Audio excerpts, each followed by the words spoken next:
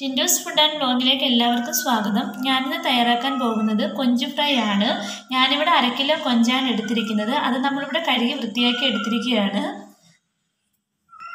നമുക്കിനി ഇത് എങ്ങനെയാണ് തയ്യാറാക്കുന്നത് എന്ന് നോക്കാം.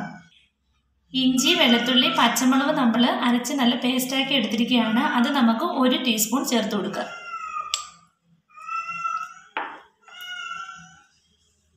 മഞ്ഞൾപ്പൊടി ആവശ്യത്തിന് അര ടീസ്പൂൺ കുരുമുളക് പൊടി.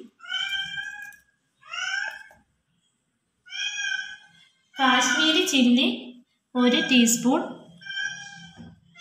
ഉപ്പ് ആവശ്യത്തിന് ഒരു ടീസ്പൂൺ അരിപ്പൊടി.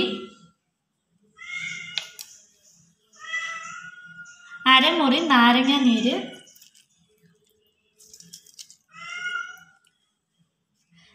ടീസ്പൂൺ ഗരം മസാല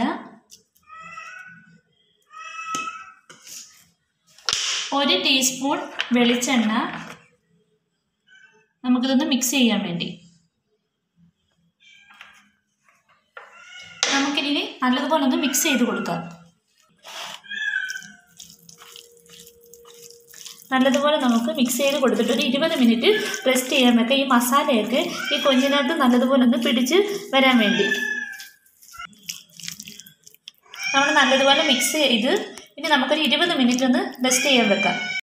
നമ്മുടെ കൊഞ്ചിവിടെ മസാലയൊക്കെ നല്ലതുപോലെ പിടിച്ചു. നമ്മൾ ഇരുപത് മിനിറ്റാണ് റെസ്റ്റ് ചെയ്യാൻ വെച്ചിരുന്നത്. ഇനി നമുക്ക് ഫ്രൈ ചെയ്തെടുക്കാം ഇത്. സ്റ്റവ് ഓണാക്കി ഞാനൊരു പാൻ വെച്ച് പാൻ ഒന്ന് ചൂടായി നമുക്കിനി ഇത് വെളിച്ചെണ്ണ ഒഴിച്ചു കൊടുക്കാം.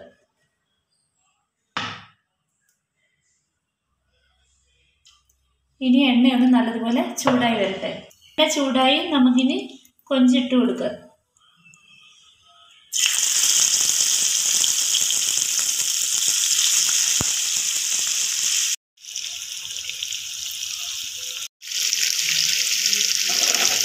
നമുക്കിതിന് നല്ലതുപോലെ ഒന്ന് ഫ്രൈ ആയി വരുന്നതിനൊരു വെയിറ്റ് ചെയ്യുക.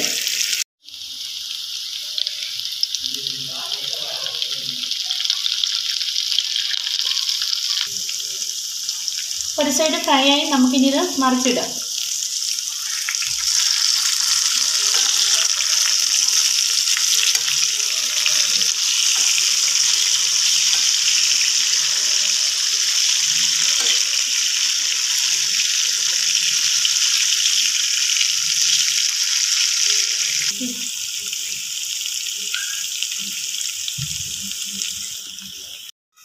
നമ്മുടെ കൊഞ്ചു ഫ്രൈ ഇവിടെ റെഡിയായി.